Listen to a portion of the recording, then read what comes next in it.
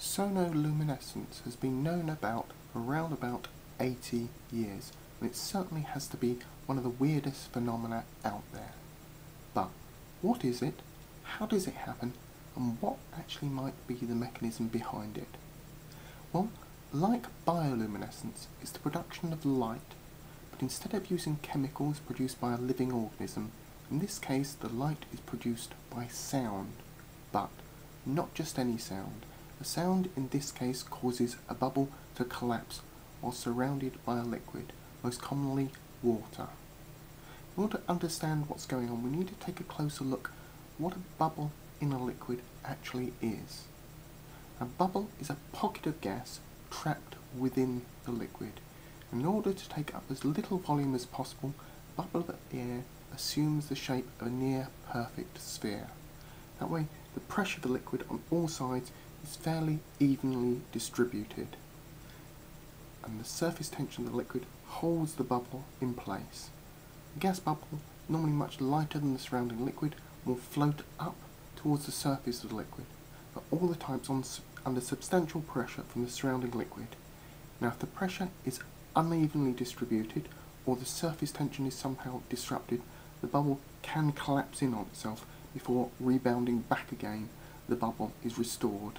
This can even happen several times with a bubble bounce.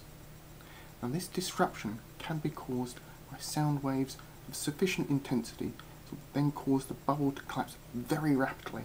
And as it collapses in itself, because of the massive pressure, there's a great deal of energy involved in the collapsing process. This energy can heat up the gas to temperatures that are greater than the surface of the sun. Quite how hot is still under immense debate. Now, before you try beginning to create your own light creating bubbles, in order for this effect to be created, these bubbles need to be tiny, way too small to be seen with the human eye. It's related to the inverse square law, so the larger the bubble is, the greater the volume in it, proportion to the surface area. Along with this, the burst of light lasts again only for a tiny fraction of a second, so you need a very fast camera to capture the light or some other form of detector. Another curious factor about the lights created by this fact in that depending upon the actual elements that go to make up the bubble, different wavelengths of light are actually produced, most of it coming in the ultraviolet part of the spectrum. The light can also have different levels of intensity, again depending upon the various elements that are within the gas in the bubble. All this, however, leaves us with a big question of what's actually going on to create this light. This question has yet to be fully resolved. However, we can make some deductions about the process.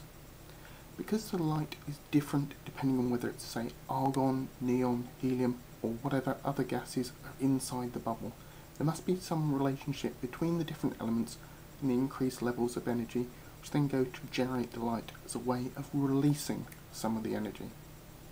It's likely to form some kind of ionization is actually going on with the electrons involved in the release of the light. But there could be either something going on the quantum level or even some form of nuclear reaction has been proposed. All this goes to show that bubbles are a lot more complicated than they look. Maybe other things like lightning also have more to them than first appears.